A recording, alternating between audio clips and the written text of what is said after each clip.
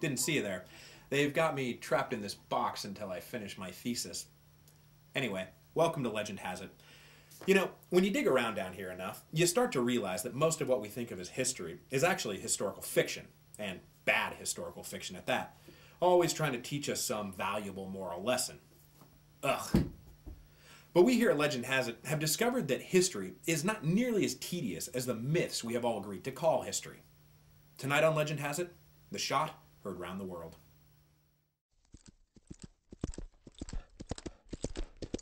Legend has it that the American Revolution began on the morning of April 19, 1775.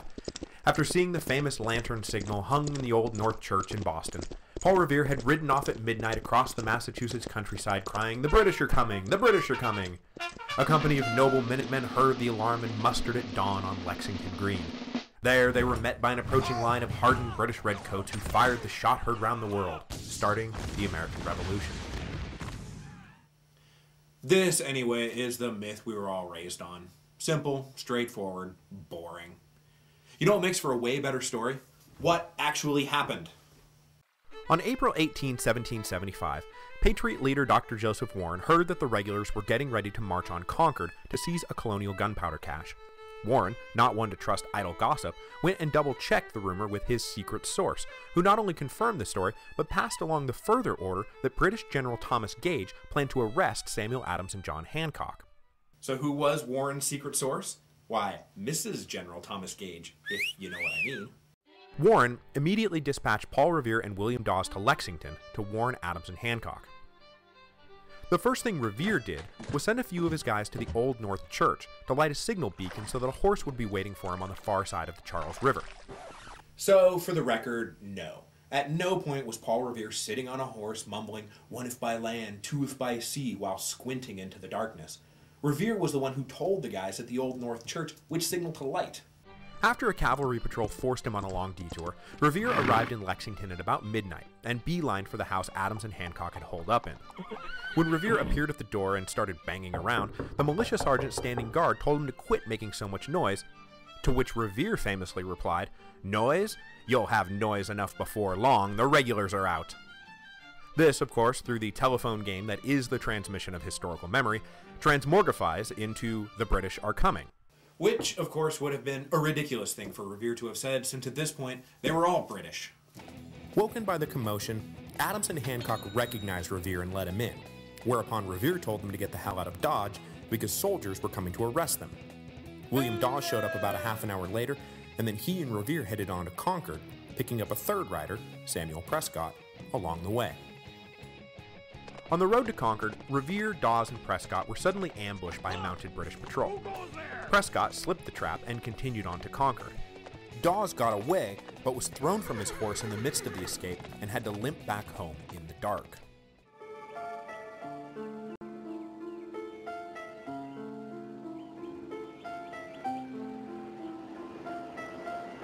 Revere, meanwhile, was captured. Interrogated by the patrol, he told them exactly who he was and what he was doing. I'm Paul Revere. We know all about your plans to march on Concord, and I'm warning the countryside. Which was all totally true. He also told them that 500 colonial militiamen were gathering in Lexington, which was almost certainly an exaggerated bluff. The patrol led him back to Lexington to call the bluff, but as they approached, they heard shots coming from the town. The patrol freaked out, ditched their prisoners, and rode off as fast as they could to warn their approaching comrades about the army waiting in Lexington. Revere, meanwhile, soon learned the source of these fired shots.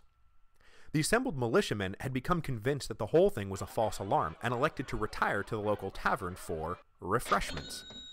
The gunshots Revere and the mounted patrol had heard came from the muskets the militiamen discharged, so there weren't a bunch of loaded guns lying around as they got drunk. Because, you know, safety first.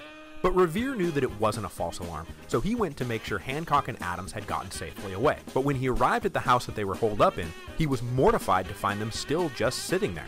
Hancock had puffed himself up into an indignant macho fury and was refusing to turn his back on the damned redcoats. Walking in on this, Revere said, Oh my god, what the f you guys, you have to get out of here. But even after they finally got going, the Adams Hancock party had to pull up short.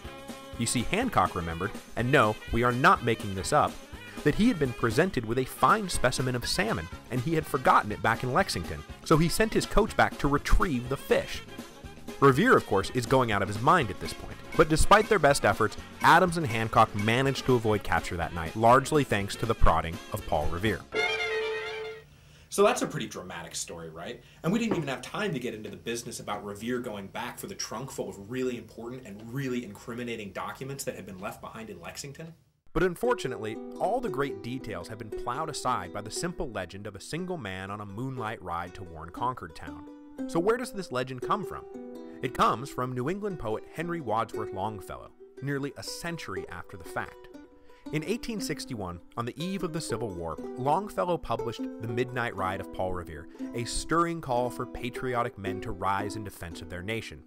It was an immediate smash hit. Wadsworth's dramatic account was so influential that it soon began appearing in history textbooks, and by the 1920s was being asserted as fact.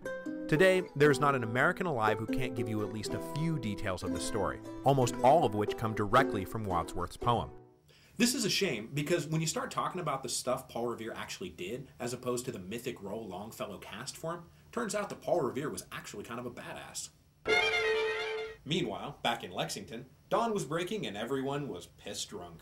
The men of the Lexington militia still thought the whole business was a false alarm.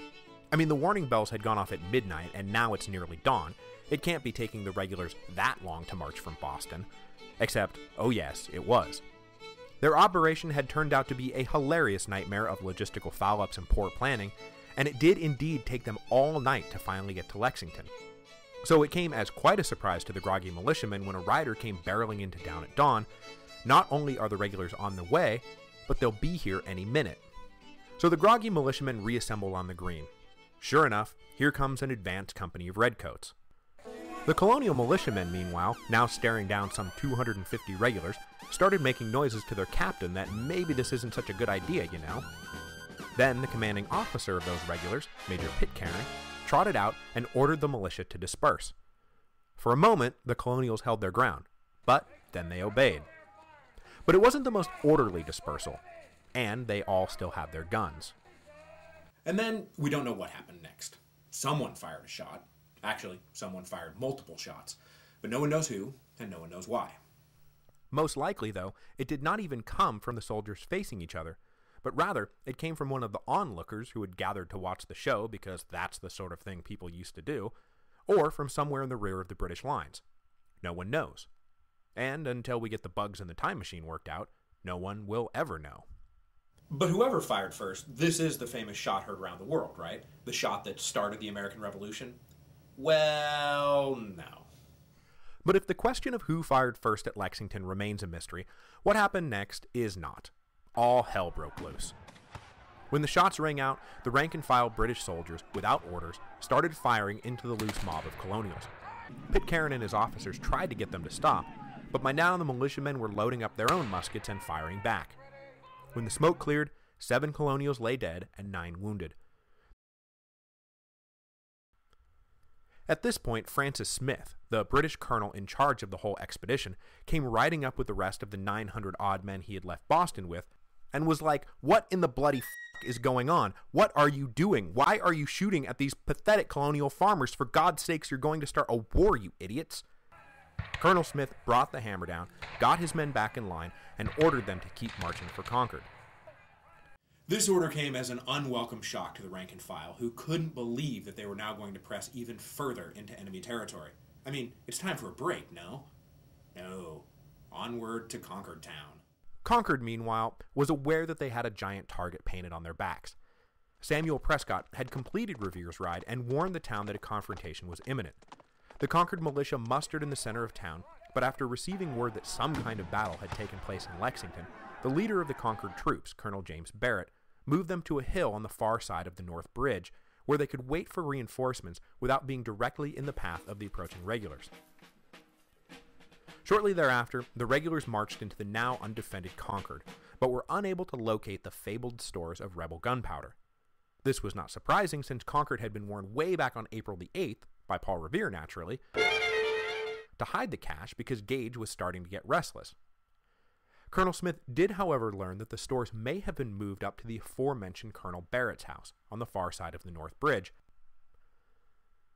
The Concord militia was still arrayed on top of their hill when the regulars passed over the North Bridge. Colonel Barrett let them pass, but when he saw three companies left behind to guard the bridge, he sniffed an opportunity and led his now 500 men down the hill. As they approached the bridge, the colonials could see smoke rising from the Concord town center. This smoke came from a small bonfire that had been built to burn what limited war material the regulars had managed to uncover, but the colonial militiamen believed the redcoats were burning the whole town down. With a horde of angry colonial militiamen descending on them, the regulars left guarding the bridge panicked and tried to regroup on the east side of the river. As with Lexington, we won't know who fired first at Concord until we get the time machine fixed, but someone started firing. The disorganized regulars then fired a loose volley at the colonials, who then returned fire. As Barrett planned, his advancing militia had much better and clearer shots. Sitting ducks in the face of the approaching colonials, the regulars guarding the bridge quickly decided that they were doomed if they didn't do something, so they did something. They broke ranks and ran as fast as they could back to Concord. As the regulars ran off, the Concord militia just sort of stood there in stunned silence. Did we just beat them? I think we just beat them. This then was the moment Emerson was looking to immortalize. I got it.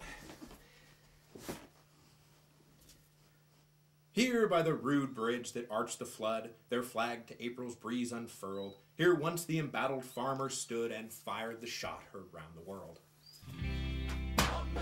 Emerson is capturing the power and glory of the moment, when the world was put on notice that America was ready to stand on her own two feet. The shot heard round the world is not about being a victim. It is about being awesome. But Colonel Barrett knew that the rest of the regulars up at his house would return soon, so he led his men back up the hill on the west side of the river to wait until the coast was clear. When Colonel Smith and his men came marching back down from Barrett's house, empty-handed of course, they were shocked by the scene at the North Bridge.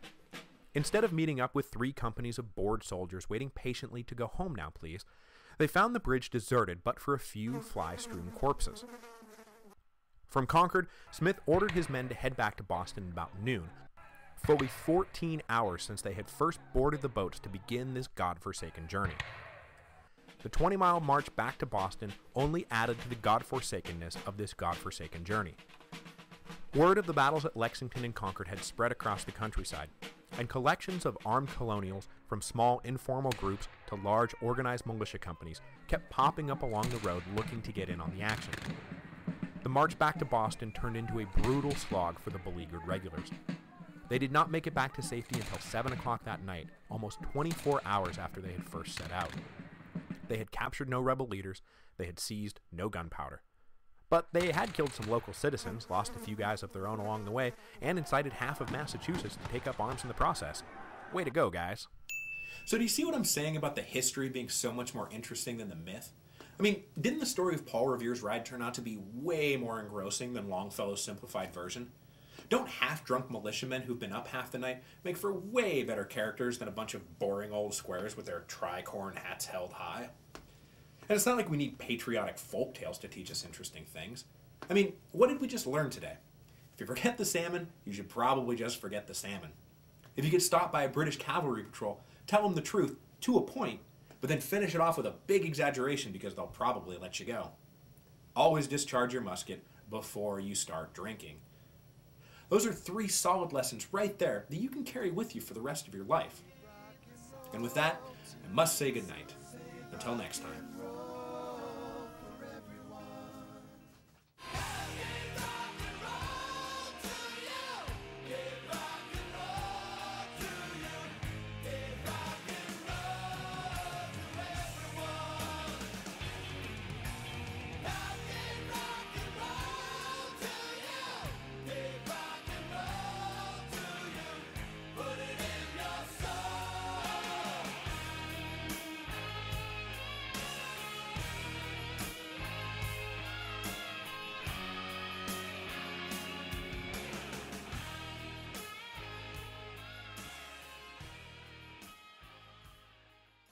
On the next legend has it, John Adams tells Thomas Jefferson he doesn't want to write the Declaration of Independence and then gets pissed because Thomas Jefferson gets all the credit for writing the Declaration of Independence. Jefferson doesn't write the Declaration of Independence so much as sprinkle some fancy words into George Mason's Virginia Declaration of Rights and then proceeds to have a slow, nervous breakdown as the ungrateful Philistine hacks of the Second Continental Congress fiddle with all his fancy words. Legend has it, legend had it,